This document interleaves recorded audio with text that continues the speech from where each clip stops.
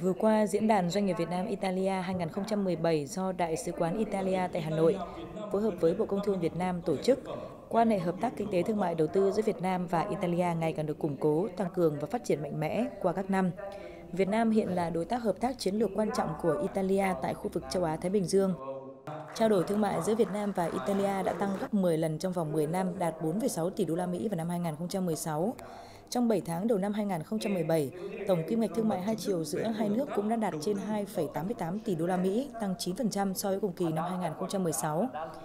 Italia hiện là đối tác thương mại lớn thứ 8 của Việt Nam và là lớn nhất của khối EU. Các mặt hàng Italia xuất khẩu vào Việt Nam bao gồm máy móc, sản phẩm da và đồ điện tử. Đầu tư từ Italia vào Việt Nam đã tăng lên 360 triệu đô la Mỹ trong năm 2016 với 78 dự án được triển khai. Xác định hợp tác kinh tế là trụ cột ưu tiên trong hợp tác song phương, hai nước đặt mục tiêu nâng kim ngạch thương mại lên 6 tỷ đô la Mỹ vào giai đoạn 2017-2018. Tăng cường đầu tư của Italia tại Việt Nam, nhất là trong các lĩnh vực thế mạnh của Italia. Đồng thời, Italia sẽ tạo thuận lợi cho các mặt hàng nông nghiệp, thủy sản Việt Nam tiếp cận sang thị trường Italia.